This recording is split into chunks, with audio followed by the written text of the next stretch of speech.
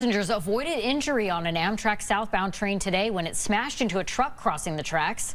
Thanks for joining us. I'm Cat Viglienzoni. And I'm Ike Bendavid. Darren is off. Adam Sullivan spoke with a passenger who's on board.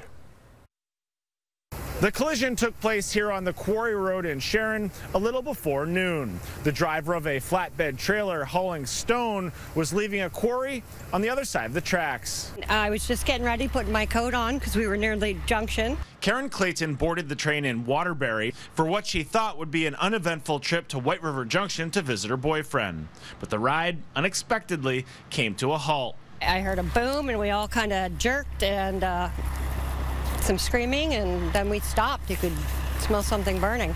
According to police, 62-year-old Michael Delaney of Leicester, Massachusetts was crossing the tracks when the trailer he was pulling was clipped by the southbound train. The trailer itself was ripped from the rig, which remarkably did not appear to be scratched. The trailer's cargo, stone from the nearby Black River Quarry, was strewn about. The train, with dozens of passengers and five crew members, came to a stop roughly a quarter mile down the tracks. It wasn't really panic, and, and there was there was parents with children around, so they were trying to remain calm. Um, but there was a lot of wondering what's going on, what's going on, uh, and then they came over the loudspeaker and explained. At this time, we do not know why the collision took place. The Quarry Road, which is just off Route 14, was covered in snow at the time of the crash. An engine from the south was diverted to pull the train from the scene as quarry employees worked to clear the debris from the tracks. The driver of the flatbed trailer declined an on-camera interview. However, he told me he was feeling okay.